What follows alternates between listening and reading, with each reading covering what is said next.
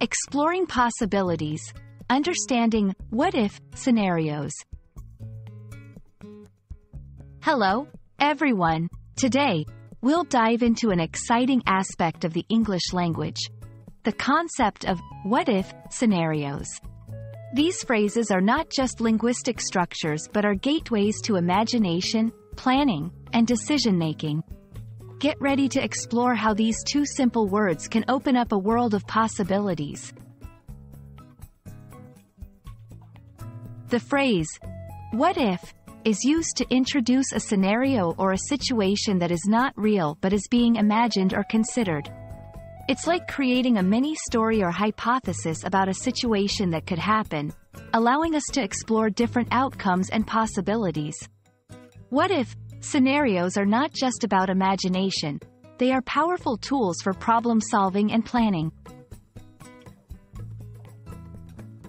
Let's bring what if scenarios to life with some examples. Personal decision making. What if I take that job in New York? Here, you're imagining how your life might change with this decision.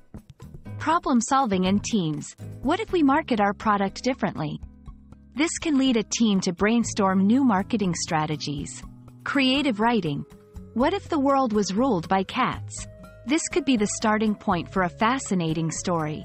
By posing these what if questions, we open up a space for discussion, creativity, and exploration of consequences. Understanding the structure is crucial for constructing clear, what-if scenarios.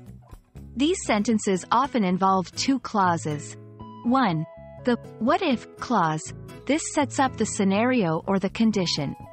For example, what if you found a magic lamp? 2. The main clause. This explains the outcome or the result of the scenario.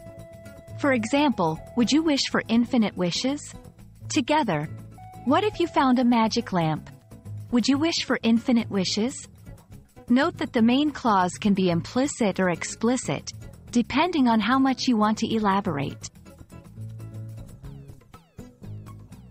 Why bother with what-if scenarios, you might ask? Well, these imaginative scenarios are not just for writers or dreamers. They play a vital role in critical thinking. They encourage us to think outside the box and consider multiple perspectives. Risk assessment. In business and personal decisions, thinking through what if scenarios helps in anticipating potential problems and planning accordingly. Learning, especially in language learning, imagining different scenarios helps in understanding and using new vocabulary and grammatical structures. And there you have it. The journey through the world of what if scenarios shows us that these two words are more than just a phrase. They are a powerful tool for thinking, imagining, and planning. Whether you're making decisions, solving problems, or just letting your imagination run wild, what if scenarios can be your best companion? Keep exploring, and remember, the possibilities are endless when you start with what if.